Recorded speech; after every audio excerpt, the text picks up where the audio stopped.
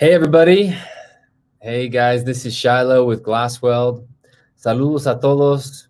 Bienvenidos a, al siguiente video de Glassweld and, um, y, y, gracias por acompañarnos.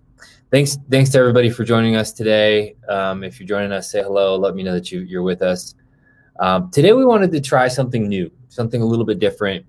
You probably noticed in the comments uh, um, to preface this video that we wanted to try something a little more bilingual. We've had a lot of requests from many of our friends in Latin America and around the world in different Spanish speaking countries for more content that um, that is understandable for them. So we, we really have been hearing that. So thank you guys for your patience. Um, and so today we're going to make an attempt to try to do that and maybe bring you some more content in the future in that regard as well. So um, gracias por acompañarnos hoy. Bienvenidos. Eh, por la primera vez, eh, hoy haremos un video bilingüe. Uh, la meta es que hagamos más contenido para ustedes en Latinoamérica y otras partes del mundo donde hablan el, el español o el castellano. Y gracias por su paciencia. Um, no es muy fácil para mí hablar, hablar muy, el, muy bien el español, ni mucho menos hacerlo junto con un video técnico en inglés. Entonces, estamos mirando la posibilidad de traerle más videos en español y eso va a ser la primera prueba. Um, so, so I wanted to, to uh, mention to you what the topic will be about today. Today, we're going to be talking about the future of windshield repair. And so this is going to be important for you if you are either in the business. Obviously, it's important to you to know where the industry is going, where the sector is going. And if you're new to the business or you're looking at getting into the business, obviously, whenever you're looking at a business, you want to size up the opportunity and the market trends in order to know whether to invest and get involved. So, the future of windshield repair is going to be our focus today and where that's all heading. Hey, Christopher, thanks for joining us, man. So, um, el tema de hoy va a ser el futuro de la reparación de parabrisas, el futuro del sector. Es importante, si usted ya está en el sector, saber a dónde vamos. Claro, no, no, te, podemos predecir el futuro con exactitud, pero tenemos algunos indicadores que nos ayudan a saber a dónde vamos en el sector. Es importante si ya estás en el sector o si estás mirando entrar en el sector, también es muy importante saber a dónde va el sector para saber si es una es una buena inversión para usted o su familia o, su, o sus socios de negocio. Entonces, eso va a ser el tema de hoy. So, uh, the first thing we want to talk about about when it comes to the future of windshield repair, and we've done a top a video on this in the past that was more specific, but that is about ADAS. Um, ADAS it refers to the Advanced Drivers Assist Systems. And again, for those of you who are not fully familiar with the, what those are, I encourage you to Google it. Look it up. Look up some Google images. Look up some. There's even some Facebook groups that focus on ADAS. Um, ADAS calibration, ADAS systems are in every aspect of your vehicle, but many of them are in it or around the windshield, and they control things like lane departure warnings, emergency braking, etc.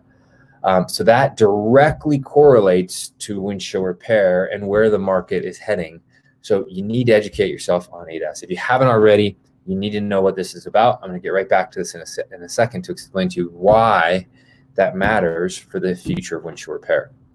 Um, el, primer, el primer tema sobre el futuro de la reparación de parabrisas es uh, los, lo que llamamos los sistemas ADAS. Eh, más o menos se traduce sistemas avanzados de asistencia para conductores. Si usted ya tiene un vehículo más o menos moderno de 2017 en a, a, adelante, pues ya sabes de algunos sistemas posiblemente que, que, que, miden la distancia entre usted y su coche y el coche enfrente, en que te ayudan a frenar, que te ayudan a cambiar de, de pasillo uh, o a detectar otros coches a, tu lado o enfrente. Son sistemas muy claves y van a ser en todos los coches, bueno, de hecho de este año en adelante en Estados Unidos, en, en muchos otros países. Uh, entonces, tiene mucho que ver con el futuro del, de, del sector de la reparación de parabrisas. Es importantísimo saber cuáles son estos sistemas y cómo se encajan con su sector o el sector a, a que tal vez estás mirando. So, uh, going back to the ADAS subject, you know, obviously the biggest reason why ADAS matters for windshield repair is it is a complete game changer for the auto glass industry. I mean, what it has done is it has it has taken an industry where you really only had to have some basic tools and some basic skills as well as you know access to windshields to do the work. Well on modern vehicles now especially as we get three to four or five years from now where the bulk of the cars on the road will all have ADAS calibration systems uh, being standard from 2020 on in most in most places um, you can imagine the the work to replace a windshield is now much more advanced. There's more equipment involved there's more tools involved there's more things that can go wrong. There's more expense involved. And so this sets up perfectly for growth in windshield repair. We're already seeing it um, across multiple different countries and multiple different markets that windshield repair is becoming a more viable option um, no matter where you are. Uh, so es importantísimo entender el, los sistemas de ADAS porque tienen que mucho que ver con el costo y la complicación de cambiar una parabrisas. En el pasado, con un, un, cuchillo, un cold knife, podías cambiar un, una parabrisa y, y, recolocar otro con, con el adhesivo correcto y ya, era todo. Pero ha cambiado todo con los sistemas de alas. Ya es, una, es, un, es un pedazo de tecnología donde si no lo recalibras correctamente, eh, puede afectar la seguridad de los, de los habitantes de una manera muy grave. Entonces es importantísimo que, que en el futuro, o, ya en el presente, ya estamos en el, en el, momento, pero en el futuro mucho más, que el, el que cambia parabrisas va a tener que reparar más. Y además el costo, la complicación de, de hacer un, una, un, cambio de parabrisas ha subido mucho porque ya, ya no puedes solamente sacarlo y ponerle otro, tienes que recalibrar todo el sistema, lo cual encaja una inversión grande en sistemas en máquinas para la recalibración, lo cual también implica costos más altos para los, para los aseguradores y también para, posiblemente para el cliente en el caso de un deducible. Entonces, todo eso conlleva un futuro brillante para la reparación porque es una opción donde no tienes que recalibrar, donde no tienes tanto costo, donde, donde no tienes eh, toda la, la, la, inversión necesaria. Entonces ya estamos mirando que el, el, sector va por allá, que la reparación está llegando a ser más importante que nunca.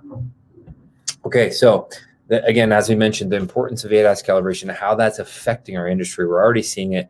Repair is becoming more and more crucial to insurance companies, to auto glass companies, because uh, because of ADAS systems in part. Now, repair has always been important. It's always been about restoring the structural integrity.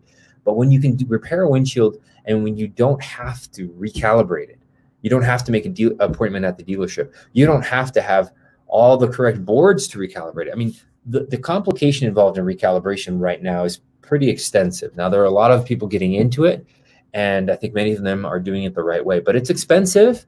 It's complicated. There's all kinds of advanced equipment that is needed and advanced training that is needed to, do it right. And the repair prevents any of that from being necessary um, in many, many cases when it's possible. So um, it, all of this has set up to create sort of a groundswell of more repair, more demand for repair, both by insurance companies as well as consumers. And as deductibles rise, consumers will demand higher, higher you know, will demand repair. And of course, insurance companies are already looking to demand higher repair ratios because of the increased cost. Whereas what a windshield used to cost three or four hundred dollars to replace it, now it might be a thousand, twelve hundred dollars to replace because of the recal cost and the additional cost of the windshield itself. Entonces es importante saber que el costo ha subido por lo menos dos veces, tal vez tres veces en algunos mercados, debido a la recalibración y además de la tecnología que está envuelto en la parabrisa. Um, en muchos casos también los, los fabricantes de los coches están diciendo que no puedes poner un, una parabrisa que, no, que es aftermarket o que, no sea de equipo original. Es, hay un debate sobre eso, pero el, el punto es que el, el, toda la tecnología del sector va por allá. Entonces está, está generando presión tanto en los clientes finales como para los aseguradores para reparar todo lo que es posible. Si usted es un técnico de reparación, eso, eso significa mucho más, mucho más trabajo para usted por el presente y también por el futuro. Entonces es un buen señal para nuestro sector, porque digamos hace, en cinco años que todos los carros en, el, en, el, en la carretera van a ser requerir uh, la recalibración, lo cual siempre la reparación es una mejor opción debido al costo y la complicación, el tiempo, etcétera, etcétera, etcétera. All right, so there's just a few things to, to cover on this in addition to this. It's important to recognize that when you're speaking with your customers, talk to them about these things. Talk, educate them on what ADAS is. Educate them on how the repair prevents the original windshield from having to be replaced and therefore also from taking the unnecessary risk of having to recalibrate um, the entire system and unnecessary cost. Um, by doing all this, if you go back and look at one of our videos that talked about building value, you're going to build value for your service for repair because now you're no longer just the guy who's coming out to inject something into their windshield. You're the guy who's educating them on the technology that, that many people don't even realize that they have right in their windshield um, and how your service is able to save them time and money and all kinds of hassle. So it's important to understand that because then you can communicate it in a way that your customers are going to care about. Entonces es importante comprender eso porque necesitas comunicar eso a sus clientes. Que cuando llaman en el teléfono, ¿qué tipo de coche tiene usted? Oh, de, es de ese año. Por si usted ya sabe que tiene el sistema ADAS. Y van a decir, ¿qué es ADAS? Y usted luego empieza a explicar. Pues todo eso con, eh, te lleva a poder añadir valor a sus servicios para que cuando les digas el precio, ya no eres solo un técnico que, que repara parabrisas, sino un experto en el sector y simplemente van a, van a confiar más en, en, usted o su servicio. Entonces es importantísimo comprender estos sistemas, qué hacen y cómo, cómo se encajan. Si, está, si usted está educado, puedes educar a tu cliente y al mismo tiempo puedes tener un precio más alto debido a, a la calidad de servicio que ofreces. Um, all of this is important to understand too, because for for the for the windshield repair industry, what this really means is that our prices need to be higher. You know, if you're still, and obviously this all depends. I mean, depending on what market in the world that you're in, we have customers all over the world. So I can't speak to specific prices. But what I can tell you is that, you know, the average in the US market has for years and years and years been 45 to 65. Um, and that's just no longer really necessary. Um, many of the insurance companies are paying $100 plus to certain vendors um, that do nationwide work for them to incentivize the repair. So and and many of your customers once they understand what's involved once they understand the deductibles involved once they understand the technology that's involved won't shy away from paying you know 80 85 100 dollars especially in retail work. So consider raising your prices. I know many companies that have done this uh, both on a nationwide scale and on a local scale. If you do it right if you do it in a way where you're adding value where you know your value you're explaining that value in a way that your customer cares about it's not going to impact your volume. It'll just increase your bottom line, which is really the goal. Again, if you're doing any service, if you can think of any specialist, a plumber, an electrician, anybody who, who does any specialized work that comes to your home or your business and does any work, do they ever show up and do something for less than $100 ever? So if not, then you know there's really no reason why the windshield repair industry needs to be any different. You are a specialist, or if you're considering getting into the business, you will become a specialist and you need to charge your worth, understand your worth, and that worth is directly linked to understanding ADAS um, and what that's all about in the future of, of windshield repair. So es importante comprender que eh, los precios no, no tienen que ser para, muy bajos. Eh, ya cuando puedes explicar la, la, la, el valor de tu servicio a tus clientes, por qué lo necesitan, por qué sus servicios son diferentes, y también explicar todos los sistemas de hadas, pues puedes subir sus precios a un, precio razonable. En cualquier parte, parte, del mundo donde estés, no existen especialistas que vienen a la casa y hagan un servicio especializado que solo hay unos pocos que sepan hacer, que cobran muy poco dinero. Entonces, eh, cobras tu valor, entiendes tu valor, que ya eres un experto que puedes por 100 eh, dólares, 50 dólares, ahorrar el costo de una parabrisa y una recalibración eh, y el, el, el, las, los riesgos de recalibrar o de poner una parabrisa que no se encaja bien o que no está recalibrado bien, usted puede ahorrar todo eso con una reparación bien hecha. Um, one last thing kind of on this topic that I think is important to understand is that, you know, as, as the windshield becomes bigger and there's more technology in them and they become more of a piece. I mean, some of the technology that's coming, we're talking about augmented reality.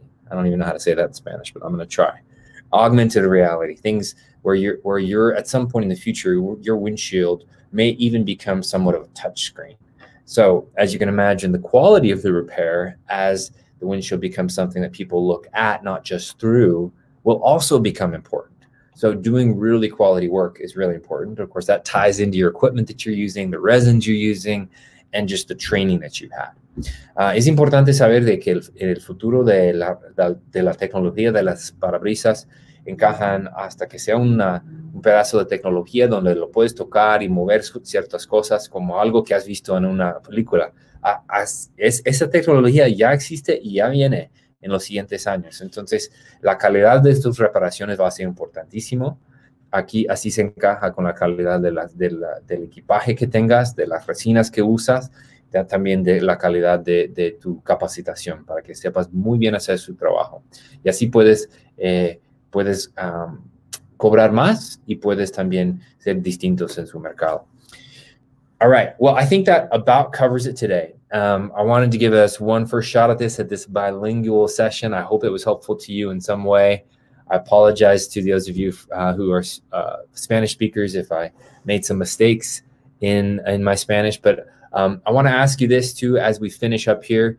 If you would like to hear more videos in Spanish, please let us know. Let us know in the comments in addition, let us know that you have some certain subjects. If you have certain subjects you would like to learn more about, we're considering doing a whole series of videos more focused on uh, on uh, on sharing some of the knowledge that we've shared in English and Spanish as well. So let us know if that would be useful to you and what subjects you'd like to hear. Si gustaría aprender más en español, por favor déjanos saber en los comentarios. Déjanos saber también qué cosas en particular gustaría saber. Uh, he, he, visto que hay varios de ustedes que nos están acompañando. Espero de que nos dejan algunos mensajes y comentarios. Así estamos mirando la posibilidad de traerle más contenido más regularmente en español, que sea más dedicado para ustedes. Um, entonces, por favor, déjanos saber qué temas te interesan, qué temas desean aprender más. Y haremos todo lo posible para escuchar y, traerle más información que sea que sea de valor para, para usted. Pues muchas gracias por acompañarnos, que tengan una muy buena semana y esperamos sus comentarios, esperamos hablar con ustedes muy pronto. Salud de, de tu familia aquí en Glasswell, estamos siempre pensando en ustedes todos los días en cómo podemos ayudar. Thank you everybody for joining us uh, from your family here at Glasswell. We think about you guys every day uh, and doing whatever we can reasonably to make uh, to make your jobs easier and to help you be successful out there. Hope you all go out and make some good money this week and uh, and enjoy the nice summer weather. We will talk to you all soon. Thanks, everybody. Talk to you soon.